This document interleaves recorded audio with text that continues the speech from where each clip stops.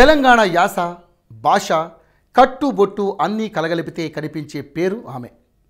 పూల పండుగైన బతుకమ్మను పలు దేశాలకు సాటి చెప్పిన ఘనత ఆమె సొంతం. తెలంగాణ ఆడపడుచులకు ఆత్మగౌరవానికి నిలువెత్తు నిదర్శనం.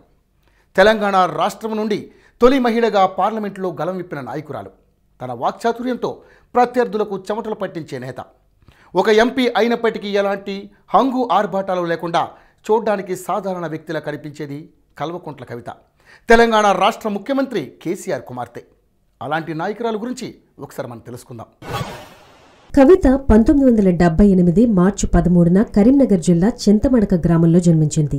కల్వకుంట్ల చంద్రశేఖరరావు శోభ దంపతులకు రెండో సంతానంగా మహాలక్ష్మి పుట్టిందని అందరూ ఆనందపడ్డారు. తను చంద్రశేఖరరావు పేరున్న నాయకుడైనప్పటికీ కవిత మాత్రం ఆ గుర్తింపుకు దూరంగా పెరిగింది.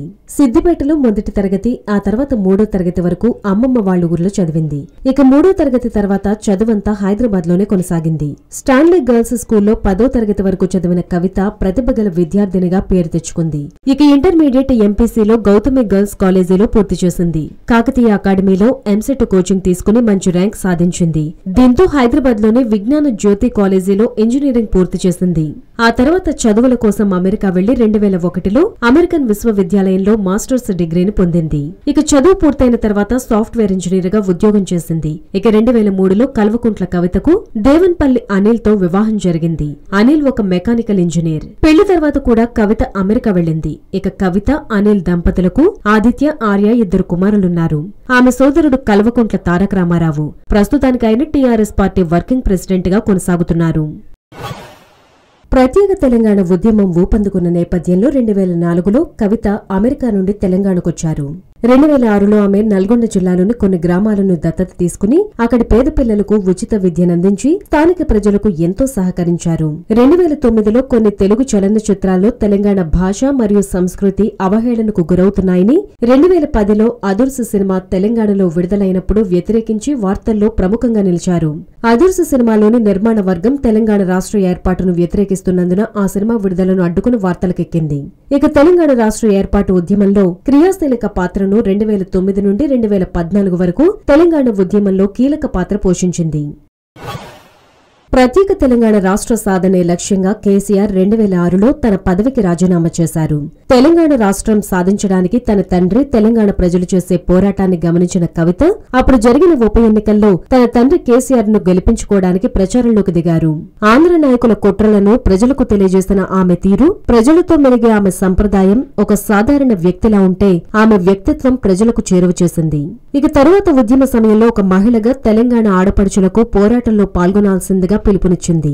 దీంతో మహిళా నాయకురాలు కవిత ఉద్యమ పోరాటం చేసింది. ఇక సీమాంధ్ర పాలనలో తెలంగాణ సంస్కృతి సంప్రదాయాలు కళలు సాహిత్యం ప్రజలకు తెలియజెప్పాలనే ఆలోచనతో రెండు వేల ఎనిమిది జూన్ ఆరున తెలంగాణ జాగృతి స్థాపించింది.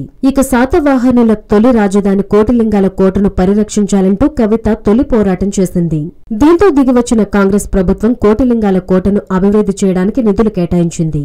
ఇక తెలంగాణ ఆడబిడ్డలను ఏకం చేయడానికి రెండు వేల ఎనిమిది అక్టోబర్లో రాష్ట్రంలో ఉన్న పది జిల్లాల్లో తొలిసారిగా కవిత బతుకమ్మ ఉత్సవాలు జరిపారు. అలాగే ప్రభుత్వ ప్రోత్సాహం లేక బాధపడుతున్న నిరుద్యోగులకు జాగృతి తరపున మార్కెటింగ్ పలు ప్రైవేటు కంపెనీల సహకారంతో యువతకు దారి చూపించారు కవిత. ఒకవైపు జాగృతి తరపున తెలంగాణ సంప్రదాయాలను కాపాడుతూనే మరోవైపు తెలంగాణ ఉద్యమంలో పోరాటం చేశారు. ప్రియజోన్కు వ్యతిరేకంగా సిద్దిపేటలో కవిత లక్షల మందికి పైచులుకుగా ప్రజలతో ధర్నాలో పాల్గొన్నారు. తెలంగాణ ఉద్యమంలో కేసీఆర్ చచ్చుడో తెలంగాణ వచ్చుడో అన్న నినాదం వినిపించినప్పుడు బిడ్డగా తండ్రికి ఏమవుతుందోనని ఆందోళన చెందిన కోట్లాది ప్రజల కోసం తండ్రి చేస్తున్న పోరాటానికి అండగా నిలిచారు. జాగృతి ఆధ్వర్యంలో సకల జనుల సమ్మె రైల్ రోకో వంట వార్పు అనేక ధర్నాలు చేయడంలో కవిత కీలక పాత్ర పోషించారు. ఇక బతుకమ్మ పండుగను రెండు వేల పది అక్టోబర్లో హైదరాబాద్లో లక్షల మందితో కలిసి కవిత నిర్వహించారు. ఇలా ప్రత్యేక తెలంగాణ రాష్ట్రం తీసుకురావడంలో నాలుగు కోట్ల తెలంగాణ ప్రజల కల సాకారం చేయడంలో కవిత చేసిన కృషి ఎనలేనిదని చెప్పొచ్చు. రెండు వేల పద్నాలుగు ఎన్నికల్లో తెలంగాణ రాష్ట్రం తీసుకురావడంలో టీఆర్ఎస్ పార్టీ ఎంతో కృషి చేసిందని ప్రజలకు తెలియజెప్పి టీఆర్ఎస్ పార్టీని అధికారంలోకి తీసుకురావడంలో తన వంతు పాత్ర కవిత పోషించారు. ఈ నేపథ్యంలో నిజామాబాద్ పార్లమెంటు స్థానం నుంచి పోటీ చేసి లక్ష డెబ్బై వేల మెజారిటీతో విజయం సాధించారు. దీంతో మొదటిసారి మహిళా నాయకురాలిగా పార్లమెంట్లో అడుగుపెట్టారు.